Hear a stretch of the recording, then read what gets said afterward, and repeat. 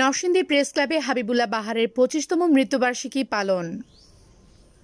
মুক্তিযুদ্ধের সংগঠক সাপ্তাহিক নরসিংদী খবরের প্রতিষ্ঠাতা ন্যাপের সিনিয়র নেতা, সামাজিক সংগঠক হাবিবুল্লাহ বাহারের পঁচিশতম মৃত্যুবার্ষিকী একুশ অক্টোবর সন্ধ্যায় নরসিংদী প্রেস ক্লাবে অনুষ্ঠিত হয়েছে।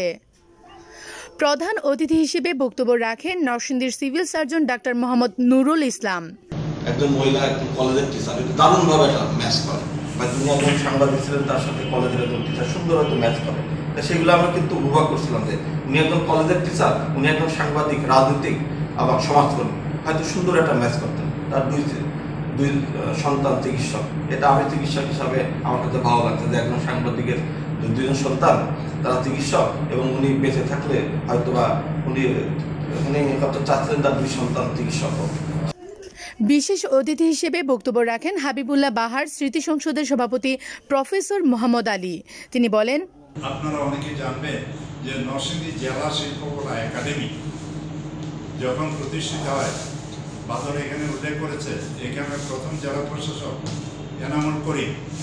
এনামুল করিম সাহেব তখন নরসিংদী কোনো শিল্পকলা নাই, সংগীত একাডেমি আরম্ভ করেছে এবং আমাকে এটার দায়িত্ব বলছে যে আপনি এখান এই সংগীত একাডেমির সম্পাদক হিসেবে দায়িত্ব পালন স্মরণ সভায় সভাপতিত্ব করেন নরসিংদী প্রেস ক্লাবের সভাপতি মাখন দাস।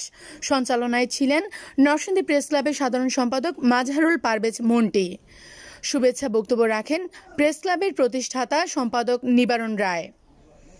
অন্যান্যদের মধ্যে উপস্থিত ছিলেন সিনিয়র সাংবাদিক হলধর দাস বাদল চন্দ্র দাস, তুফাজ্জুল হোসেন, মঞ্জিল মিল্লাত, আমজাদ হোসেন, জয়নাল আবেদিন, আসাদুজ্জামান রিপন, শিবপুর প্রেস ক্লাবের আহ্বায়ক কমিটির সদস্য মোমেন খান, সদস্য ইলিয়াস হায়দার সহ সাংবাদিকবৃন্দ।